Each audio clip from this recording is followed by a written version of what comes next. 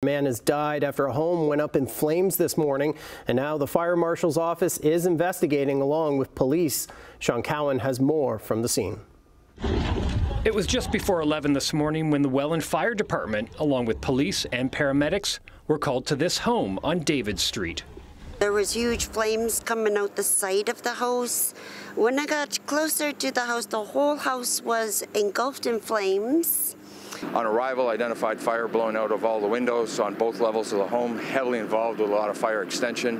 Uh, they immediately identified uh, a defensive fire attack, uh, stopping the fire from spreading to the neighboring properties and, and trying to reduce the damage.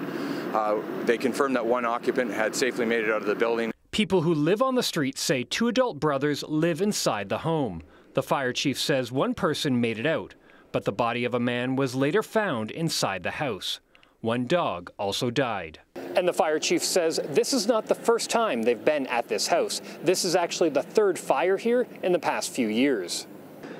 It was scary. I was worried for the people next door because they have little kids and dogs, so I was more worried about them. Um, there's been numerous transients, people living in and out of there, and we've had a lot of police uh, police coming through the night and through the day, ambulances at all hours a day. So the cause of the fire is still under investigation, but is not believed to be criminal in nature. The fire marshal's office has taken over the investigation. Sean Cowan, CHCH News, Welland.